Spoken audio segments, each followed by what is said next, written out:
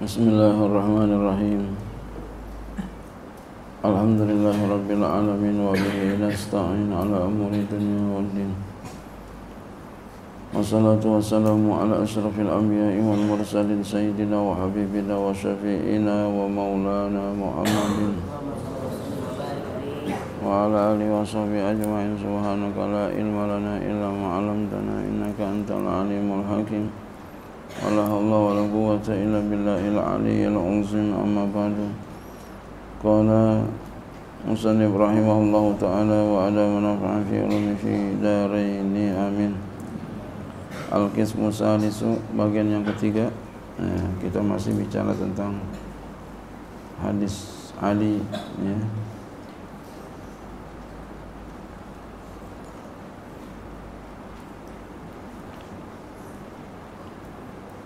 Al-ulu bil qurbi ila kitabin min min kutubil hadisil mu'tamadati. Jadi macam-macam hadis Ali ya. Yang ketiga tinggi ya al-ulu ulu tinggi bil qurbi dengan dekat ila kitabin jaraknya dekat kepada kitab min kutubil hadisil mu'tamadati daripada kitab-kitab hadis yang muktamad kasahihaini seperti hadis sahihain Bukhari Muslim. Jadi kalau dikatakan sahihain dalam hadis itu adalah Imam Bukhari dan Imam Muslim. Kalau kita lagi di pembahasan fikih dikatakan di dalam kitab fikih ada sahihain suka begitu itu yang dimaksud adalah Imam ya, Nawawi dan Imam Rafi'i. So, bukan Sahihain, Syekhoni gitu ya. Dikatakan Syekh Syekhoni ya. kalau dalam kitab hadis eh, seperti ini kalau masalah urusan hadis Sahihain ya, Syekhoni itu adalah Imam Bukhari Muslim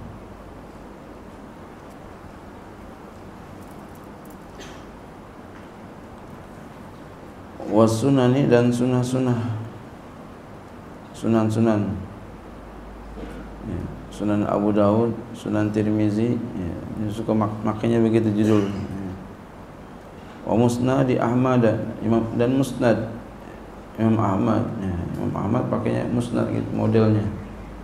Model penyusunan hadisnya musnad yaitu hadis yang periwayatan uh, cara penulisannya itu nama sahabat di depan musnad wa nahwi eh, dan seumpamanya. Hmm.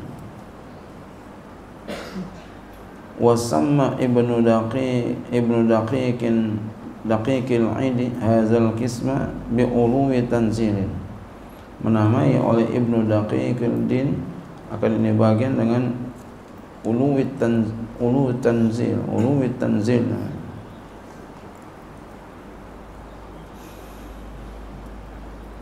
ya, jadi dekat sama uh, sahihain nama ya, hadis kitab hadis Bukhari Muslim ya. dekat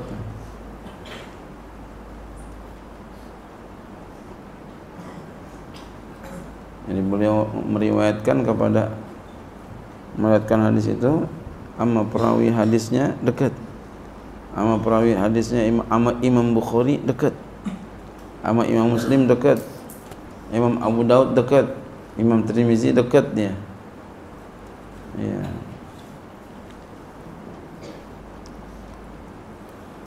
itu namanya kata Ibnu Daqiquddin namanya ulu tanzil Wahwa ala arba'ati anwa'in. Dan itu terbagi kepada empat macam. Al awalu al muwafaqatu namanya muwafaqah. Wahiyal usulu ila syekhi ahadil musannafaini.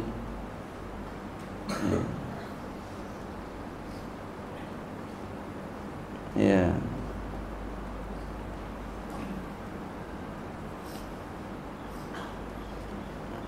wa huwa usul itu sampai ila syekhi kepada syekh ahadil musannifin.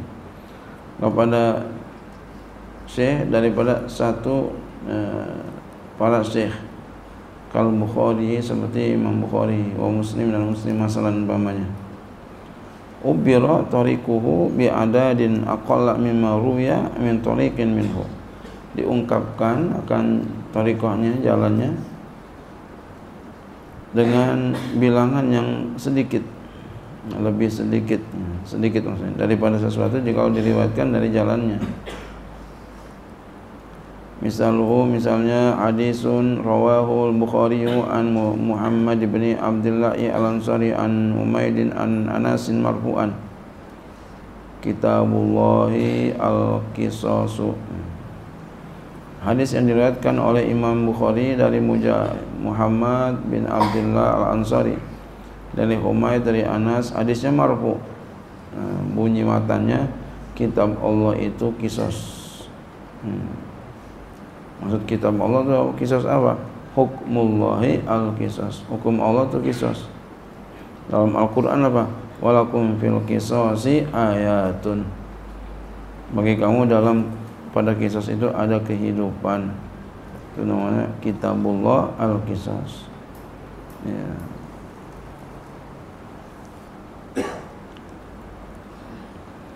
Qala al-Iraqi berkata oleh Imam al-Iraqi fa idza rawahu al-rawiyyu min juz'il ansari maka apabila hadis itu diriwayatkan oleh seorang rawi daripada bagian al-ansari taqa'u muwafaqatul Bukhari fi syekhihi maka jatuh kesesuaian Imam Bukhari pada gurunya. Qala al-Hafiz bin Hajar berkata Imam Hafiz bin Hajar fi Nuzhatin Nazari dalam kitab Nuzhatun Nazar. Rawal Bukhari an Qutaibah an Malikin hadisan melihatkan Imam Bukhari dari Qutaibah dari Malik akan sebuah hadis rawainahu min tariqihi kana bainana wa baina Qutaibah samaniyatun. Maka jikalau kami meriwayatkan akan dia hadis dari jalannya adalah di antara kami dan di antara Qutaibah itu ada delapan perawi. Falau raina dzalikal hadis bi ainihi min tariqi Abil Abbas as-Siraji an Qutaibata masalan lakana bainana wa baina Qutaibata sab'atun. Dan jikalau kami meriwayatkan akan hadis itu dengan zatnya daripada ya, langsung berarti jalan Abi Abbas As-Siraj dari Qutaibah umpamanya ini saya di antara kami dan di antara Qutaibah hanya ya tujuh orang perawi aja Ya, jadi kalau bisa cari yang ali, jangan yang nazil. Cari yang masih dekat, jangan yang jauh. Hmm. Hmm. Gitu. Cari yang dekat.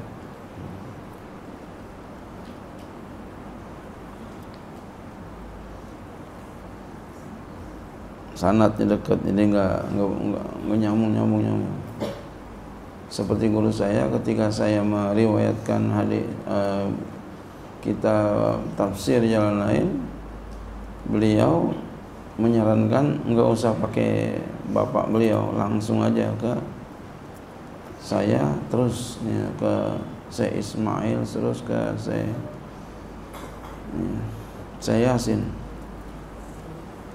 Kalau kita pikirin ya, subhanallah betapa beliau seorang ilmuwan. Enggak memikirkan keluarga jadi memikirkan ilmu. Subhanallah. Itu supaya apa? Supaya saya meriwayatkannya na ali bukan nazil. Ya, kalau suuzonnya oh begitu. Hmm. nah, itulah seorang ilmuwan begitu. Diutamakannya ilmu bukan keluarga bukan ta'assub. Ya. Ilmu yang diutamakan. Sekalipun keluarga kalau salah salah. Sekalipun diri kita kalau salah salah. Menurut pandangan ilmu. Kalau kamu utamakan ilmu mulia kamu mulia berdiri tegak. Tapi kalau kamu mengutamakan bukan ilmu umpama mengutamakan diri kamu mengutamakan nafsu kamu mengutamakan keluarga ya, mengutamakan klan, mengutamakan marga, warga, ya, bukan ilmu yang diutamakan, maka kamu akan runtuh. Jadi utamakan ilmu, pandangan ilmu seperti ini. Maka ikutin ilmu, apalagi di zaman ini, ya, zaman orang banyak bingung ikutin yang mana, ikutin yang pandangannya ilmuwan. Kenapa? Kalau pandangan ilmu nanti kita bisa tanggung jawab di akhirat. Ya. Itu guru saya kayak Mahfuz beliau pandangannya pakai ilmu. Pakai ilmu beliau memandang, masya Allah. Jarang tuh orang kayak begitu. Pandangannya pakai ilmu, bukan pakai nafsu. Kalau kamu ya pandangannya pakai ilmu kamu akan tegak lurus berdiri sendiri kokoh mulia. Tapi kalau karena enggak enggak enak sesuatu walaupun kamu umpama udah jadi ulama besar banyak pengikutnya namun ketika itu kamu hilang di hati hati masyarakat yang sudah ada kamu di hatinya runtuh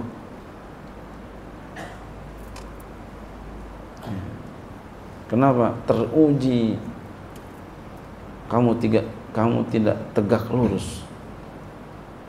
Tapi doyong. Ada sesuatu selain ilmu. Ilmu itu apa? Ya itu Allah kita. Ilmu itu ya yang diberikan oleh Allah, bekal yang Allah berikan kepada kita yang disuruh pegang sama Allah. Bahkan kalau kita nggak tahu ilmu, tanya sama orang yang ngerti, sama orang yang ilmu. Tanya sama orang yang ngerti, sama orang yang paham. Kalau nggak ngerti, ilmu. Fas'alu ahla zikri in kuntum ta'lamun.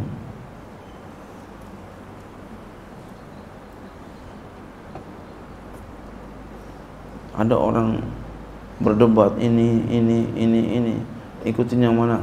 Pandang tuh secara ilmu. Kaji.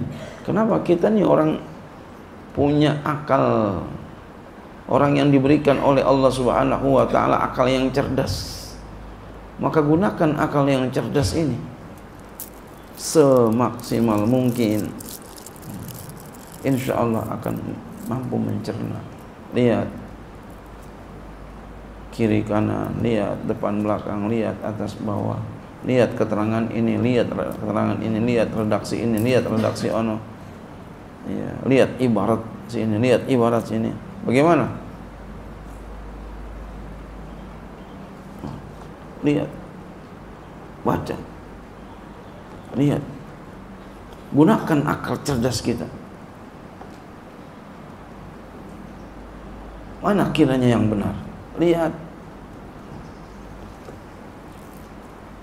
Perhatiin cermat-cermat. Baik-baik.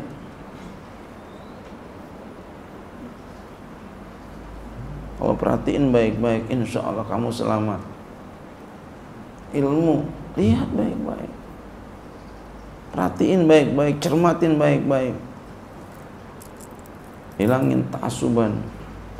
Hilangin fanatisme. Hilangin nafsu pakai ilmu gunakan sebaik-baiknya.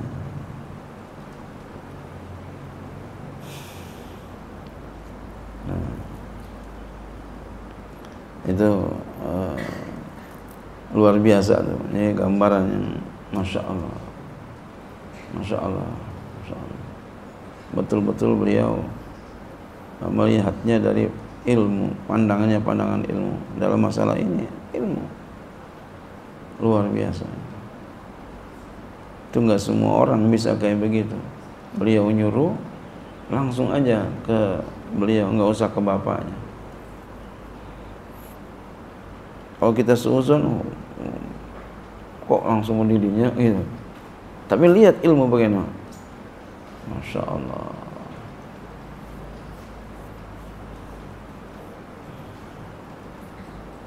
Yeah.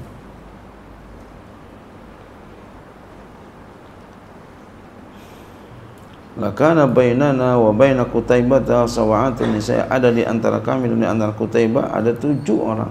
Kalau tadi kan delapan, kebanyakan. Pakai yang tujuh. Jangan yang delapan, pakai yang tujuh biar lebih dekat. Iya. Biar lebih dekat, pakai yang tujuh. Hasalat lanal muwafaqatu fil Bukhari fi syaikhihi bi ainihi ma ulul isnadi ala isnadi ilaih. Maka hasillah kepada kami kesesuaian pada Bukhari pada syekhnya dengan zatnya hadisnya itu yang bersama. Tinggi sanad ya, di atas sanad ilaih ya, di atasnya menyandarkan kepadanya. Ya, jadi kalau masih bisa yang dekat yang dekat yang itu namanya hadis ya, ulu ya hadis Ali. Wallahu a'lam